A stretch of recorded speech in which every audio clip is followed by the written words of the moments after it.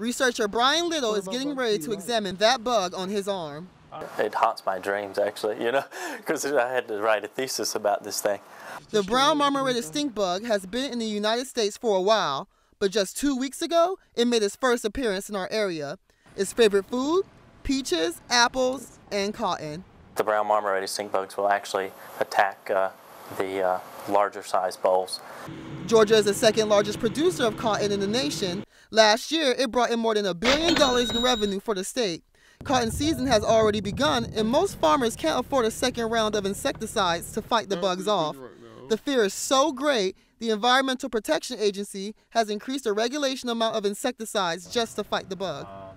The EPA has um, changed rates and allowed um, more parts per million of certain insecticides to help control uh, this insect. Dr. Paul Guillebeau has seen the increase of the bug's population firsthand. When my wife and I are laying in the bed, you can count at least five or six on the ceiling.